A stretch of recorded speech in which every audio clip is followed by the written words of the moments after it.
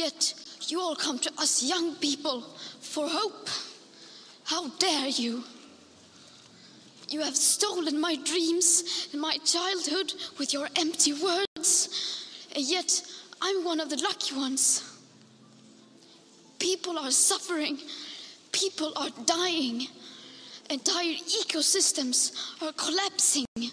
We are in the beginning of a mass extinction, and all you can talk about is money and fairy tales of eternal economic growth. How dare you!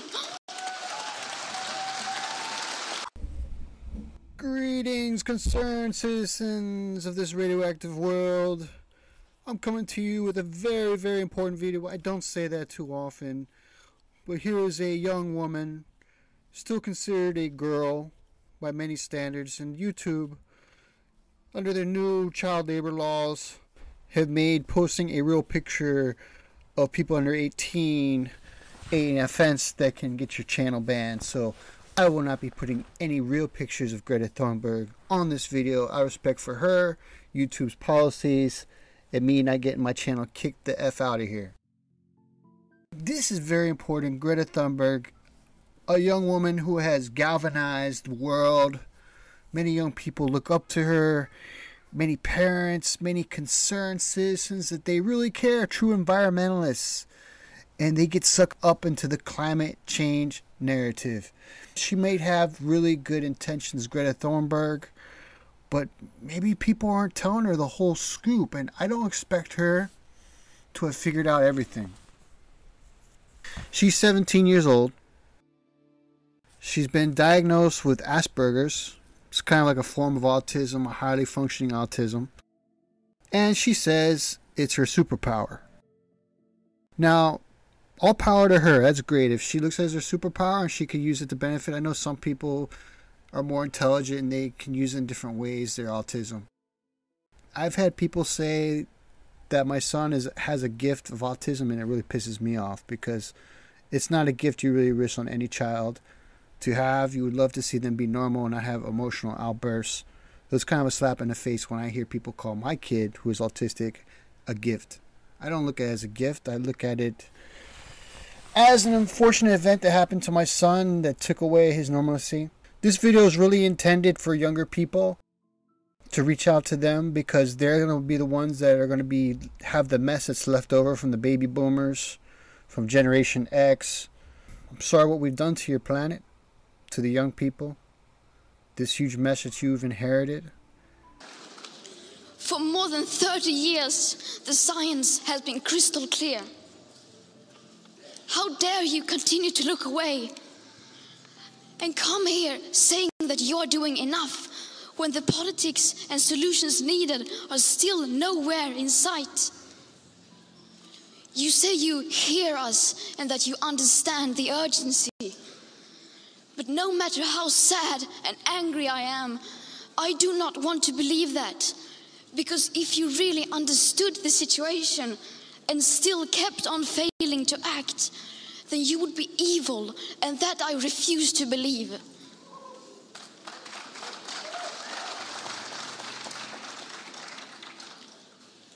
The popular idea of cutting our emissions in half in 10 years only gives us a 50% chance of staying below 1.5 degrees and the risk of setting off irreversible chain reactions beyond human control. 50% may be acceptable to you, but those numbers do not include tipping points, most feedback loops, additional warming hidden by toxic air pollution, or the aspects of equity and climate justice. They also rely on my generation sucking hundreds of billions of tons of your CO2 out of the air with technologies that barely exist and you are still not mature enough to tell it like it is. You are failing us. But the young people are starting to understand your betrayal. The eyes of all future generations are upon you.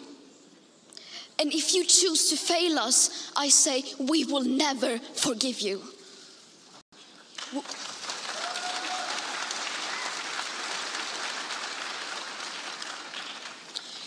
We will not let you get away with this.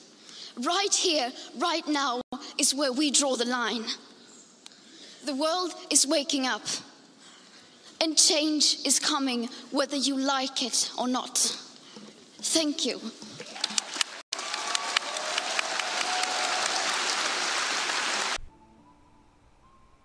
She's really so worried about CO2. She says, We gotta trust the scientists. Listen to the scientists. So they're so concerned about the CO2 that they've pretty much been pushing nuclear to accomplish their CO2 goals. And there's no hiding this. So that's why people might say, Why are you being so critical of Greta Thunberg? Is because her actions are directly going to be affecting whether more nuclear power plants are going to be put in this world or not. And I found this very interesting because when I was going through Greta Thunberg's Wikipedia, it was 2011 when she realized the dramatic events that are happening around the world and how the environment was declining. What happened in 2011? 99% of my subscribers know what happened in 2011 was the Fukushima meltdowns, 311 of 2011. That changed everything. We started seeing massive die offs almost immediately. And the radiation spurred Germany, which she's being hard on Germany. Germany changed their minds. One of the few great things that Germany has done is decided to shut down all their nuclear power plants because after they saw Fukushima, they're like, no way, we can't take a chance like this. I mean, Greta is the child of Chernobyl. She's out of Sweden. She was born in Stockholm. And I wonder, is it Stockholm Syndrome? I think she's misinformed and I think she's being used. And I don't think she knows all the facts. Over the past year, climate activist Greta Thunberg was hailed by UN bureaucracy and its Extinction Rebellion minions, and other column derided by critics of the global warming agenda. Visceral reactions to the Swedish teenager, diagnosed with Asperger's syndrome, has been canonized with her appointment as Time magazine's youngest ever person of the year. On that list of luminaries, little Greta joins Joseph Stalin, General William Westmoreland, Bill Jefferson Clinton, Jeff Bezos, George freaking W. Bush, and Adolf Hitler. That's some nice company, huh? Greta's guilt tripping of airplane passengers with her multi million dollar carbon fiber yacht journeys across the Atlantic, arriving in just 10 days without switching on the motor? Really? To New York Harbor in record time against the Gulf Stream in prevailing wind, beating trade winds assisted by Christopher Columbus by three weeks. This was annoying enough to anyone who still has a grip on reality. Even more surreal was how the world's elected politicians and UN representatives listens with rapt adoration during her categorical rejection of adults as liars and cheaters, when everyone already knows that. That's how logic dies, with thunderous applause from gullible fools.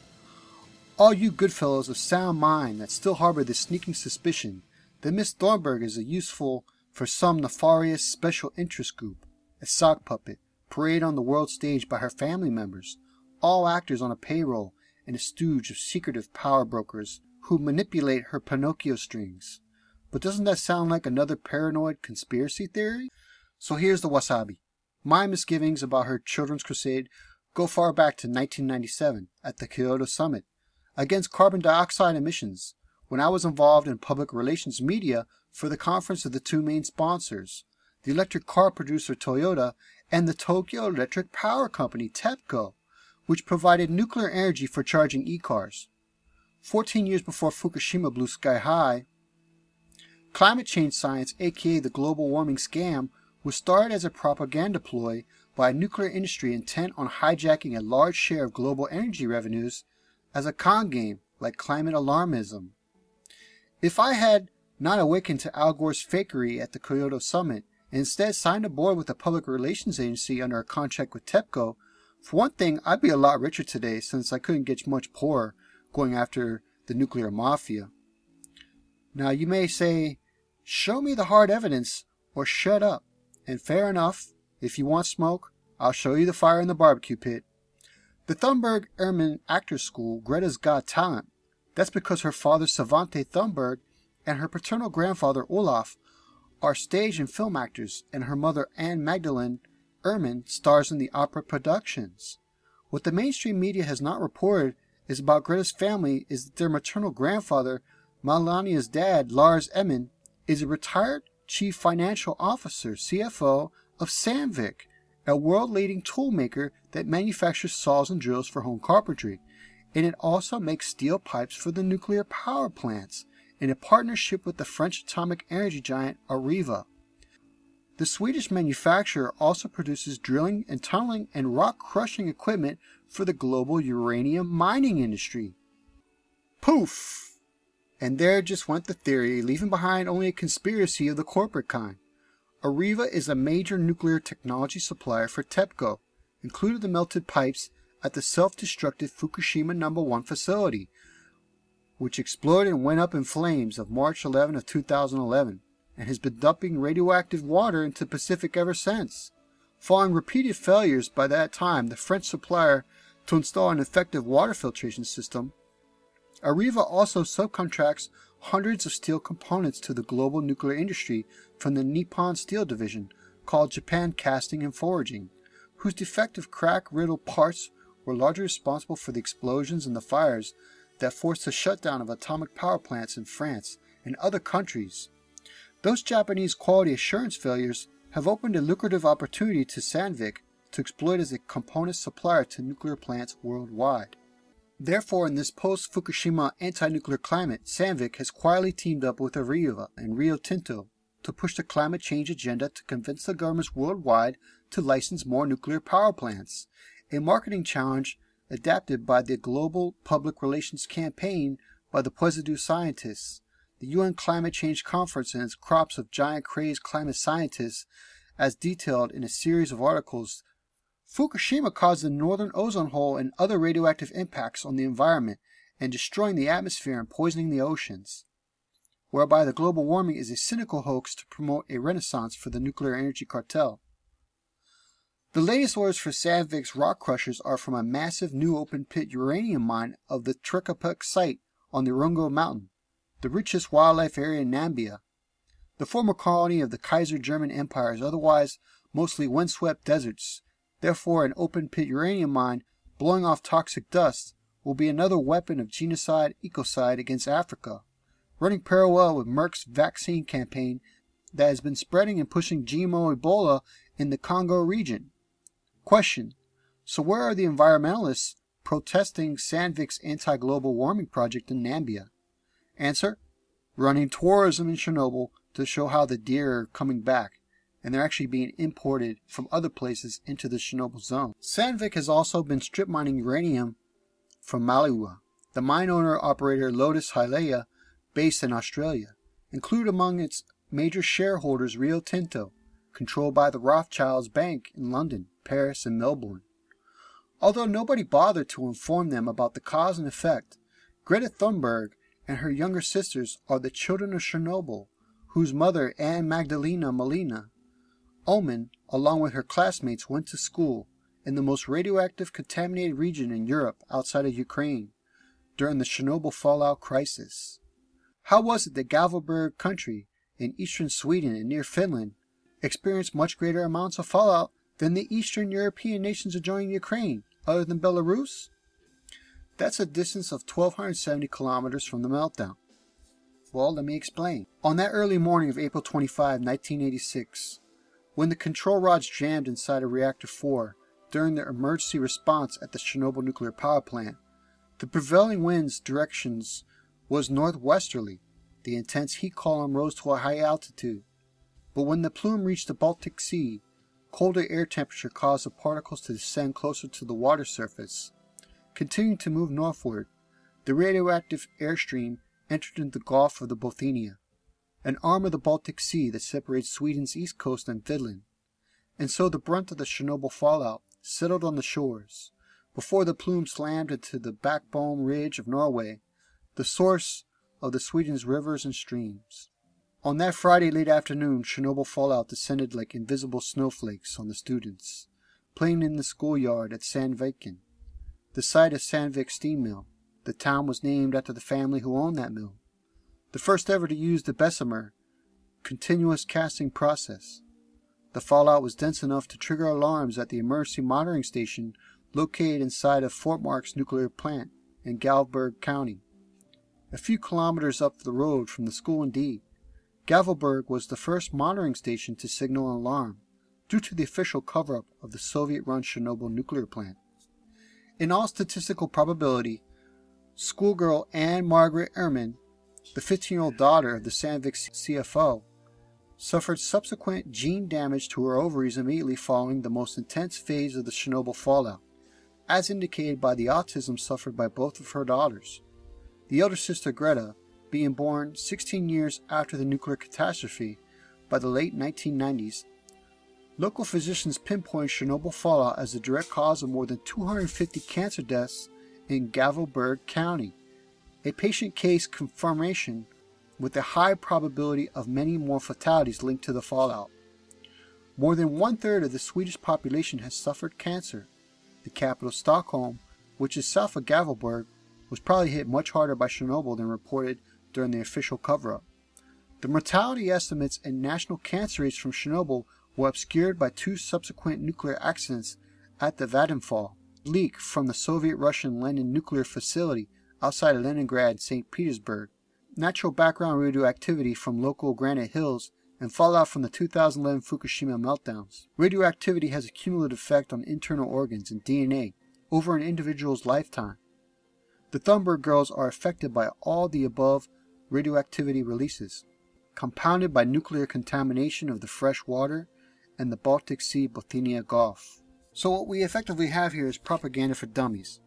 Sweden has a grand total of two thermal power plants and one of these idled is in reserve. Even though the rest of the nation's electricity supports comes from nuclear, hydro, and wind turbines, global warming due to carbon dioxide emissions is the single issue popular cause for the Swedish population. Global warming is therefore a boogeyman, as dangerous as a troll from Scandinavian folklore. This is a classic case of propaganda as a diversionary exercise.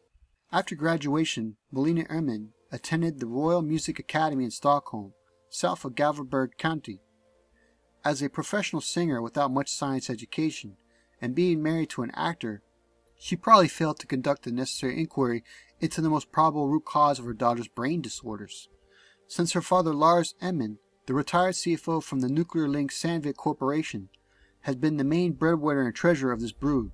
It should not be surprising if nuclear whitewashing Sandvik executives have influenced and provoked the Thunberg Ernman family to launch the highly theoretical Greta the Solar hoax. The elements for ethical compromises are all there. In a small community, a corporate corporation, a clan of actors and performers who are readily directed to follow a script in exchange for payment. The reindeer slaughtered for species survival. Have you heard of this story? These humans in their pride have thus fooled themselves into believing that ill-gotten wealth can help them evade mass destruction. Within a decade of the Chernobyl meltdowns, I was doing field research in Sweden, Finland, and northern Norway to assess the recovery efforts by the Samaya herders, who told me about the need to kill all their beloved domesticated reindeer and incinerate the bodies to prevent irreversible genetic damage to the gene pool. An entirely new herd was raised from frozen eggs, reserved for such a crisis. Actually, it was for an anticipated nuclear war. It was amazing how the herding families of the newly generated reindeer revived the ancient cultural practices so rapidly. It was an example of hope against all odds, in defense of the biosphere. Human DNA is another matter. The underground field of eugenics is still operating in top gear.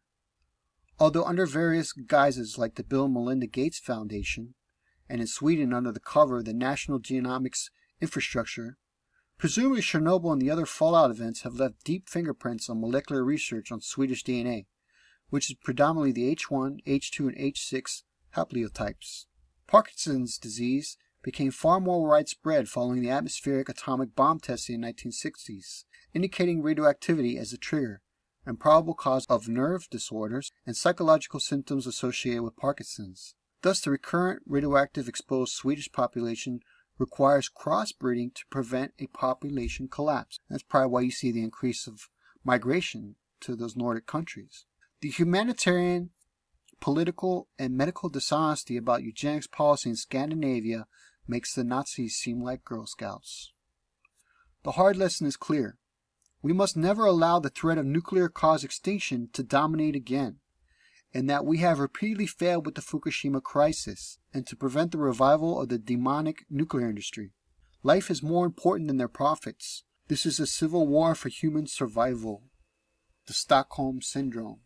As put by Kylo Ren, you're nothing, but not to me. As stressed in the Star Wars series, the most thrilling challenge for Evil Inc.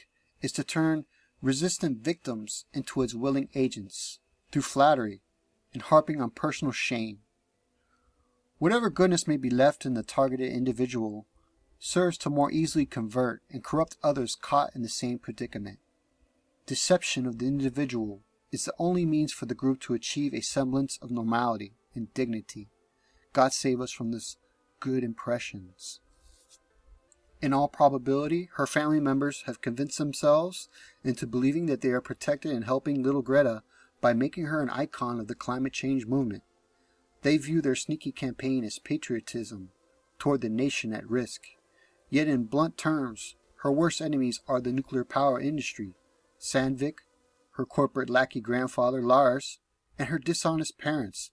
The Thunberg Ernman family are the cruelest type of self-serving monsters doing everything for the good of the children by exploiting this innocent child and renting her out to the nuclear demon that has deprived her of her childhood and now relegates her to a confused infamy as the Patty Hearst of the climate change movement. Sure, I am uncomfortable for having to disclose all this to you as to what's really been happening. Although it hurts, the truth will set you free. Greta, be yourself. That's all that really matters. As for your family exploiters, their hearts will be broken after the illusions are shattered. But it's their own fault and none of yours. Stop being their complicit captive. Truth is the most painful experience you'll ever have to endure, but only that will make you free. The correct diagnosis for your psychological issues is called the Stockholm Syndrome. When you, as their captive, start to adapt the mindset of your captors and defend their self-interest. No, you do not belong to them or with them. Your only responsibility is to reject subjugation and denial by striving for freedom, to think for yourself and be yourself, because you owe it to yourself and to the world to become what you really are meant to be. As for the Parkinson's, aka toxic radioactivity, death is nothing to be afraid, because your worst fear is a comfortable life of delusion, escape. To see is to be. Before signing off, Greta, you might be wondering how is it that I can understand your predicament and can see through the veils of all the lies. It is because, like you, I was a victim of radioactivity at the very inception, as the embryo that would become a child in formation. My mother was aboard the last train out of Hiroshima, joining the passengers who saw the brilliant flash of light that destroyed a city and irradiated the people abroad, including the girl who became my mom. Remember always, Catastrophe robs you of a normal life, but that it also grants you special powers to see things as they are, which few others can see. Your eyes can perceive the tiny stars dancing in the air, but it's not that type of gas you assume there to be, because like me, you can see, you can feel and taste that invisible yet most powerful force in our universe, the cosmic energy that condenses into atoms. Those flickering sparks have edited the genes of thousands of biological strains that eventually resulted in the creation of ours. And yet this energy has also annihilated countless species without mercy, just as it's now eliminating millions of humans and billions of other life forms. That's what has been bothering you, the evasive thoughts and selfish urges that have abated this paranoia of annihilation.